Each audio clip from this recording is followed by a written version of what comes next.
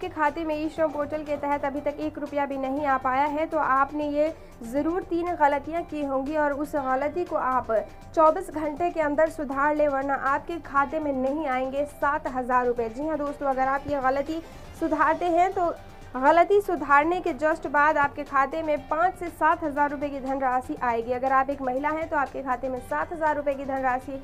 अगर आप एक पुरुष हैं तो आपके खाते में पाँच हज़ार रुपये की धनराशि आएगी। दरअसल बता दें कि ई श्रम कार्ड बनवाने वाले 90 परसेंट लोगों ने गलती कर रखी है, जिसकी वजह से ई श्रम पोर्टल का कोई भी लाभ उनके खाता तक नहीं पहुँच पा रहा है।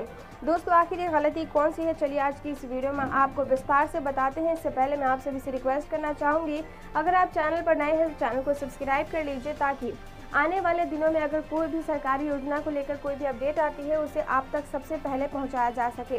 इस चैनल को सब्सक्राइब भी कर लीजिएगा क्योंकि इस चैनल पर दी जाने वाली सभी जानकारियाँ पूरी तरीके से मुफ़्त हैं। आपको बता दें कि ई श्रम पोर्टल की सबसे बड़ी गलती की गई है। अपना आधार कार्ड बिना अपडेट करवाए अपने आधार कार्ड से ई श्रम कार्ड को लिंक्ड कराना। जी हाँ दोस्तों, अगर अभी तक आपने आधार कार्ड को अपडेट नहीं करवाया था और इसके बावजूद अगर आपने ई श्रम कार्ड बनवाया है तो आपके खाते में ई श्रम पोर्टल के तहत एक रुपया भी नहीं आने वाला। इसी के साथ अगर आपने आधार कार्ड के साथ आपका मोबाइल नंबर लिंक्ड नहीं था, अगर आपका बैंक अकाउंट नंबर लिंक्ड नहीं था तो आपके खाते में एक रुपया भी नहीं आने वाला। कई सारे लोगों ने अपना डेट ऑफ़ बर्थ गलत डाला हुआ है, जिसकी वजह से ई श्रम पोर्टल के तहत उन्हें एक रुपया भी अभी तक नहीं मिल पाया है।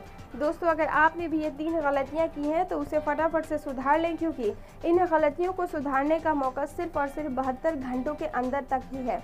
अगर आपने बहत्तर घंटे के अंदर इन गलतियों को नहीं सुधारा तो आपको ई श्रम पोर्टल के तहत एक रुपया भी नहीं मिलने वाला है। चैनल को सब्सक्राइब कर लीजिए, क्योंकि इस चैनल पर दी जाने वाली सभी जानकारियाँ पूरी तरीके से मुफ़्त हैं।